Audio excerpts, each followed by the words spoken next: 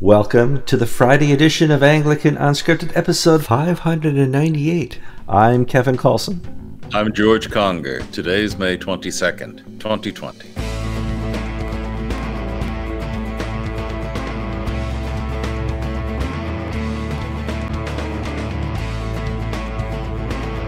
All right, welcome to another show of Anglican Unscripted. Did you notice the number 598? We're way up there again. And We'll never run out of numbers if you believe in infinity, and I do. And we're coming up on 600. If you guys remembered, uh, some of you guys are new to the audience, back in episode 500, we offered hey, if you guys want to say hi and record little video clips and say, uh, I'm so and so watching from so and so place, and I love the show you can send those clips to us. You can send it to anglicantv at gmail.com or you can uh, upload it to G, uh, your G Drive, your Google Drive, and send me a link. And we would like to include those in episode 500. Uh, it was 500, episode 600. It was a lot of fun in 500, and I kind of want to repeat that. Before we get too far, I want you to like the episode, share the episode. This last episode, 598, was the most shared episode in in the last 100, and really appreciate that. Uh, comment, you guys are the best commenters. Every week, George and I say we need to talk about the comments. What do we forget to do every week, George? Talk about the comments. Talk. we get towards the end. That's such a great show. What do you want to do? Cut, go, go, cut it, stop. We, we, we're ending on a high note, you know. So we often miss the comments. Please subscribe if you're not subscribed, and if you have not and do not know, we have a podcast. You will find the link to the podcast in the show notes so you can just listen to us on your car radio on the way to work, which you don't work right now.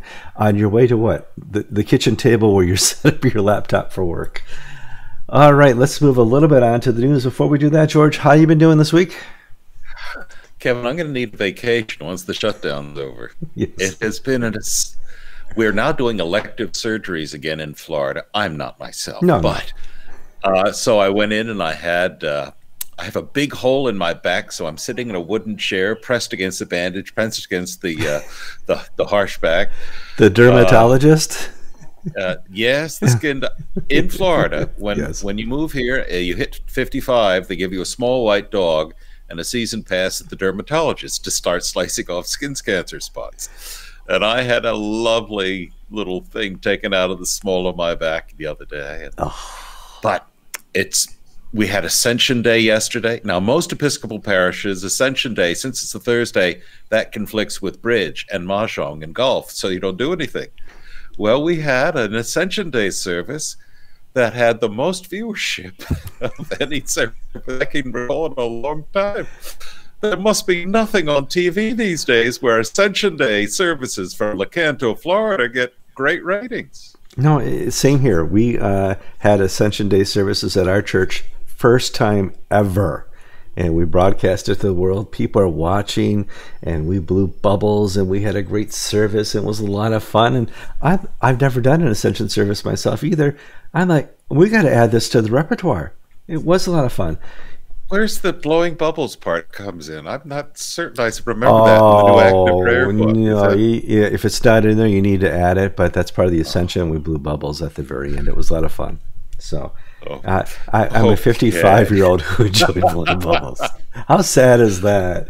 So, Oh. but you mentioned there's nothing good on TV, and that's so right. And there's no more uh, Archie and Edith. There's no more Everybody Loves Raymond or The Cosby Show. There's nothing compelling for people to sit and watch on NBC or CBS or ABC. There used to be, you know, times where there was just you don't miss TV. And those days are largely over. The 70s and 80s, 90s was a time where at least once a week my family would tune into some show that we were addicted to. And I don't think, I can't think of anything that's not, you know, cable related or Netflix related, maybe some HBO series that people are, okay, Game of Thrones would be the, lot, the, the, the addicted one. That's kind of an adultish. You there's just no compelling family TV anymore, George. It's very true. Uh, drama, sports, comedy. You can't comment. You can't be funny on TV anymore. No. Uh, do you think?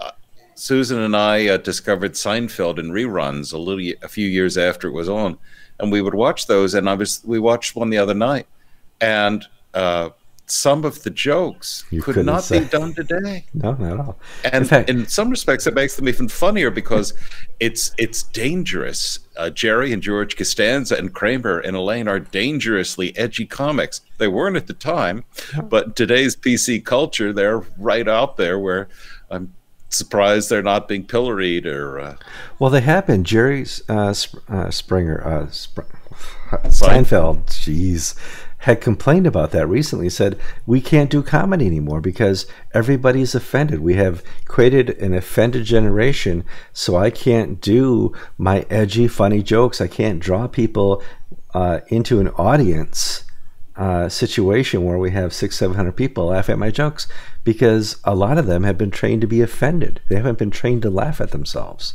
They, they don't understand what humor is anymore, and I think that's a, a large part of port, a large part of what's missing uh, in our in our current situation. People can't laugh at themselves, and it, it's sad to watch. Let's move on to the news. Uh, got I think two or three quick stories. Well, uh, actually, it's Yeah. true about this show. Whenever we make fun of Mormons or Catholics or Calvinists Or Anglicans. you would, or Anglicans, you would think that we had set a hot fire poker against somebody's heart. I mean, uh, oh. I okay. If I were not an IT person, I would probably be a, a stand-up comedian. I love comedy. I love jokes. I love making people laugh. I I love the, the facial response of a good belly laugh that I caught. I thought you started out as a disc jockey. I thought that was your first job. That was, but it was there's no career in that, especially with Oh. how how the songs kept getting Well, worse. tell that to. Howard Stern. yeah, so jeez. I, I remember the day that I decided, uh, you know, being a, a disc jockey is not for me, and there was a song called "Sex Me Up," and uh, it was released sometime in the uh, mid '90s, and it was the hottest thing in middle school and high schools, and all these young girls and boys were uh, grinding each other at parties, and I'm like, that it's it's over. This is not a an edible way to make a, a career. So I went into IT. Hey, it worked. Um, let's talk about uh, how the Church of England is supporting the sex you up culture. Apparently, I read a story posted on Anglican Ink. And I'll bring it up over here real quick. Oops, that's not it. I shall bring it up. Technology. Is it going to come up? Uh, That didn't come up. There we go. So on Anglican Ink., I have this story. Church of England Secondary School assigns preteens pornographic homework. George, I think that's very odd in the in the Christian day and age that we would be doing that. But what you do? You posted the story. You wrote the story. What happened? Well, it was a local news item from the, da- the Hull Daily Mail. Mm-hmm. Hull is a city on the northeast coast of England, and one of our friends and contributors, Melvin Tinkers, the rector Tinkers, of the biggest sure. Anglican church in Hull. Well, the Archbishop Sentamu Academy. That's why there's the picture of Archbishop Sentamu with the school children and the headmaster on the article. I took it from their website. It's a uh, secondary school, which is uh, the equivalent in America of a middle school, 11 to 14 year olds. They're, like most British schools, on shutdown, lockdown. They're having distance educations, they're doing things online. And their equivalent of our health instruction or sex education, uh, their department assigned the young children sex education homework and they were basically assigned assigned lessons and asked to define pornography, bondage, anal sex, transgenderism. You just go on and on and on and on and on, and basically asked to do their homework about these deviant sexual practices. Oh, so they were supposed to search Google and find out more. Is that? What? oh no. Well, it didn't it didn't say now look up anal sex on the internet and tell us what you find. But what does it mean? And 11 year olds on the internet doing their homework asked to look up stuff about anal sex. What are they going to find? Mm-hmm. Now, there's a silver lining in all this. The parents at this school went ballistic. Thank God. They they said, "How could you be?" My 11 year old has Hello Kitty pillowcases and still believes in unicorn and fairies, and you're sending her in to look up hardcore sexual practices. Now, Archbishop Sentamu is a Church of England school. I in the article we printed part of its mission statement. It is to follow the teachings of Jesus Christ, model his life and living, and follow all. There are no buzzwords in this school. It's not some hippy dippy East Village school where uh, you sit around, uh, listen to gurus. It's a normal church school. It's a cath. It's the equivalent of American parochial school. Well, now it's the type of school I sent my all three of my kids to, uh, all the way through high school. My kids went to the Roman Catholic parochial school where I knew that they were not going to be indoctrinated by the most liberal ideas available in America because the public schools here really teach some horrible dogma about it's basically all taught by the people who survived the sexual revolution you know well, this, and i well, tried to avoid that well you you get what you pay for you don't get what you pay, you pay for. for. that's, that's the right. problem yeah. the well the the parents blew up and the and the headmaster the principal apologized for signing this work, said, lessons will be learned from now on. We're only going to provide age equivalent, age appropriate education, and we'll alert the parents next time we do something.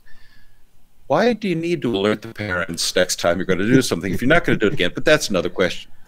So he basically said, I'm sorry, I know this is wrong. But he then went on to say, but in our defense of the uh, health education department, we are only doing what the government guidelines tell us it's appropriate to do. See, here's a, here's a kicker: the Church of England should be bringing Jesus Christ to the people of England. Instead, it's a, it's an agent of the government, so that it uses Stonewall, the gay advocacy militant gay advocacy group, to help advise it on its sex education curriculums so that the Archbishop of Canterbury may say, "Oh, the Church of England hasn't changed its liturgy and it's our teaching, sexual moral morality, and purity." Well, what it's doing in its own schools is using the most, the loudest lobbyists of the deviant culture to form 11 year olds and 12 year olds and 13 year olds. Well, and this is what Stonewall thinks is age appropriate. This is what the public school system in England thinks is appropriate. 11 year olds should be learning about this type of thing just in case they want to find out. It's better they find out from the schools than from the streets or their friends. Come on, George. Well, from a pastoral perspective, I have I've had to deal with young almost all young boys, young boys 12, 13, 14 years old uh, who basically are addicted to pornography. Yeah. And well, yes, that's naughty. Don't do that. But it goes even further because what it is doing is warping their understanding of women, of what love is, of what affection is, of the purpose of the body, the purpose of sexuality, so that these young boys are basically being corrupted and polluted and poisoned. They're not sexually promiscuous, they're not sexually active, but they're getting on the internet when their parents are asleep and looking at these things and then they're looking at their little girl classmates and they're thinking that's what these girls want because that's what the girls want in these videos. Yeah, ironically, sadly, pornography makes women into objects. The one thing we've been told for the last 40 years by the liberation feminist movement, we're not objects. Well, they support pornography, and pornography makes women and girls objects. You're back to it, square one. And the scientist, the, neuro, the neuroscientist tell us it rewires your brain. It, yeah, absolutely. In other words, it changes how your thought processes work. And so, on one level, Melvin Tinker uh, sent us some very good comments for the article, and I encourage you to read the story on Anglican Ink., especially for Melvin's uh, bit at the end. In other words, Melvin speaks of the abdication responsibility of the teachers of saying, well, we're there's appointed experts on sex or on these government forums and committees. Therefore, we're going to do what they say. Whereas we have the clear, t- how does that square with the church's mission of proclaiming Jesus Christ and making it part of the lives of the children? Where, you know, this is fake Christianity. This is the Church of England at its very worst, meaning as an exemplar of the culture rather than a change agent bringing Christ into the culture. Indeed. All right, another Church of England story, and sadly, all the news is over the Church of England uh, uh, this week, but that's just reality. Uh, we have a couple commenters talk more about the Episcopal Church strangely, the Episcopal Church isn't making the news a lot lately. So we're stuck with some bigger stories, at least this week, uh, from the Church of England. Kevin, I told you that when Katharine Jefferts Schori retired, uh, we, we did, were just yeah. going to take a hit. Uh, I am surprised we have any viewership at all after Katharine Jefferts Schori. Um, what? What is CNN going to do when jo- Donald Trump finishes his presidency? What, what? no, I mean, can they get true. mad at, at, at uh, Mike Pence the way they can. I mean, come on. Now. Rachel Maddow's career is over after Trump. I mean, it, it it's a sad reality. Um, they've lost their greatest enemy, but in the their same greatest res- asset. Their greatest asset. Let's talk quickly about um, the camp system that used to exist in the 60s and 70s and 80s, 90s, up until a couple weeks ago uh, within the, the church. For, goes back to the 40s. Yeah, the 40s, the the Irwin Irwin camps, and this is where a lot of people went to camp and had a wonderful time and were ministered to. And this is the same camps where a lot of people went to camp and were abused in uh, sadistic and sometimes sexual ways. And now those camps are no more, George. You may have heard them referred to as BASH, B A S H camps, right. after its founder, Nash. I forget his first name, Alfred or Albert. Well, these were invitation only camps for boys attending the most prestigious private schools or public schools, as they're called in England, who would be invited to be basically to these summer camps and to be uh, in, fostered and initiated in the evangelical Christian culture. And most uh, people from John Stott uh, or Nicky Gumbel of Alpha fame, mm-hmm. Justin Welby, the Archbishop of Canterbury, a who's who of the evangelical upper classes. Their boys passed through these camps. And for many of them, for most of them, it was a wonderful, life changing, affirming experience, just like, you know, how the Boy Scouts can be for people. Unfortunately, these camps also attracted perverts we uh, had the ongoing saga of John Smythe. The uh, he was a QC, a, a Queen's Counsel, uh, a top flight attorney. Uh, uh, one of the leaders of these camps would invite boys to his home from Winchester College, which is one of the top private schools, and boys he had met in these summer camps, and he would beat them, he'd flagellate them. It was all part of a, deep, a deviant sexual homoerotic culture we have all the nonsense uh, around Jonathan Fletcher, but it really was the Smythe issue. Yeah, it was mostly Smythe at the camps. Um, but Smythe uh, had to flee England. He got basically get out of the country before you get arrested. Went away, ran some camps there, did the same stuff. Went to South Africa and finally died of a heart attack. And it was an open secret of his being an abuser. And recently the lawsuits began. And they've, you were, in, it's spelled, for those of you who don't know the oddities of English pronunciation, um, they were, if you look down at the second paragraph, you have the Iwerne camps.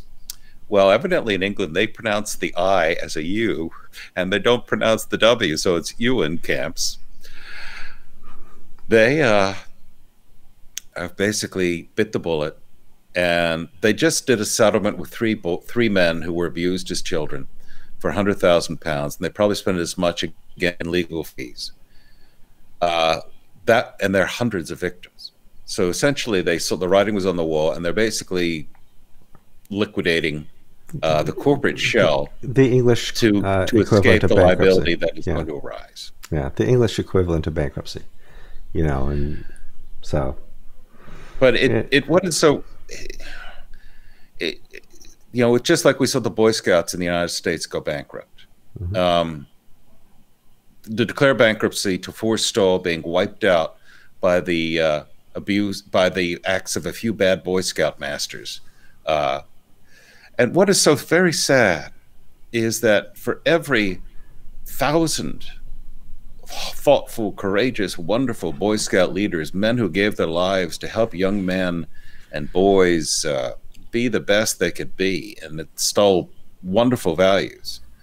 You've got these handful of perverts who basically found themselves with no other supervision with young boys whom then they can then sexually abuse or and into each of these organizations, whether it's the Boy Scouts or the Iwerne camps or private schools in the United States—they're Catholic schools, uh, it's uh, the devil is around us all the time, and it's the same. In some respects, it's the same issue that this Archbishop Sentamu Academy faces of the leadership basically going along to get along, not basically calling out bad acts until it's too late and the parents blow up when they find that their children are being abused. In the Archbishop Sentamu uh, case, they weren't being physically abused, but they were being psychologically and emotionally abused by being led to pornography by their own school. In the well, Iwerne camps, they were being abused physically and emotionally by John Smythe. And it took the parents and it took a new generation to say, stop. But here's the thing they're only saying stop in the Christian school. Here in America, in the liberal uh, public schools, in England, in the public schools, around the world in the public schools, the Stonewall strategy is taking place. And they're being taught at young ages, as young as kindergartens, they're having story time with um, what uh, drag queens. Drag queens, um, and they're they're initiating and starting as early as possible to let them know that this is normal. These people yeah, are I, normal. There's nothing wrong with, you know, using fruit to uh, cause your genitals to have you know, some type of excited feeling. Don't worry about it. It, it's the same mindset that we had in some U.S. states where we have a lockdown, and I knew this because I I uh, I needed to get these skin cancers off, uh, uh, and I couldn't for three months or two and a half months because and well and good. Well, if I had lived in Michigan, if I lived in Michigan and I needed these things done, I'd still be waiting. But if, if my child wanted an abortion, she could walk in and get one tomorrow. Huh. In other words, what is healthcare? Uh, it, you know, the, the, the, the special interests allow abortions, but they prevent knee surgeries or skin cancer surgeries or tests for cancer or initiation of chemotherapy. Hmm. The, I don't want to say pervert culture, but the, we're so out of out out of the round, out of out of kilter in our world today where there are certain protected practices uh, that are amoral or immoral and damaging and destructive. And self-perpetuating by the state, and they're actually promoted by the state. Yeah, but like what happened at the Iwerne camps was self-perpetuating. If you are abused, you are extremely more likely to be an abuser in the future. It's just the it's the nature of abuse. We you know that, we identified uh, in our researches and writing five abusers. Uh, one has died. Smythe has died, and you know three others went on to be uh, prep school teachers and uh, basically moved back into this world into the society where they were abused as small boys, and they're going and on to teach and be leaders in these same institutions and carrying on the same behaviors. Hmm. I I don't I, am not a psychologist. I don't understand how these things arise, but I think you're right, Kevin. I think part of it is learned behavior. Yeah. It's what these little boys in Lecanto, Florida, are learning when, when they watch pornography. That's how they learn to express themselves sexually. If you're a little boy and you're sexually abused and your innocence is taken away and corrupted, are you more likely to do that when you're a man placed in that same position with other young boys? Such a happy show. Six hundred will be much better. Five ninety nine. We had to get all the crap of the Church of England out there. Let you know about it. Maybe in the six hundred we'll talk about the Episcopal Church and the ACNA again with happy but, talk. But here's here's the happy point, uh, yeah. if I if I may. Oh, absolutely. The parents stood up and said, "This shall not." They weren't sheep. They And weren't. were- ju- but they weren't they were- either. Nobody they shamed them. they weren't ashamed to Yeah. speak out. They weren't sheep. Uh, these aren't. The Archbishop Sentamu Academy. It's a lovely school. I'm sure it does very well, but, but it's not attracting the upper classes of Hull. They send their children off to other schools. This is the uh, people scrape and save to send their kids to these better schools, give them a chance in life. And usually the world ignores parents like that. They well, they care do. what they It's not only that, George, but if a, a person going to a public school had a parent that stood up and said, We can't have this type of teaching in our schools, it's horrible, they would be accused of a hate crime. You hate the LGTBs because you won't allow this type of teaching at in eighth grade How, or eight, eight year olds. What are you? You're a hater. You're you're a homophobe. You're you know how dare you? Well, it, you know, in, in some states, the United States, where they have these drag queen story hours, the schools have very strict rules about people with sex crimes uh, may not work at the school as janitors. They may not teach, but they're involved. But there, there's a carve out, an exception for queen story time. So you can be a registered sex offender and still be permitted to lead five year olds in stories about drag queens, uh, because there's a carve out for those people. What? All right. In other words, how sick is this world? We're very sick. That's why. that's why we need the church. We need a church that won't hide, uh, hide away and cower when there's a pandemic. George, let's close out the program. Remember, people, please send us your little video clips of who you are, where you are, and what you think of the program. Those who think highly of the program are very likely to get their uh, clips on the air. Anything else? So AnglicanTV at gmail.com is how to send links to us. I'm Kevin Kallsen. I'm George Conger, and you've been watching episode 509 of Anglican Unscripted.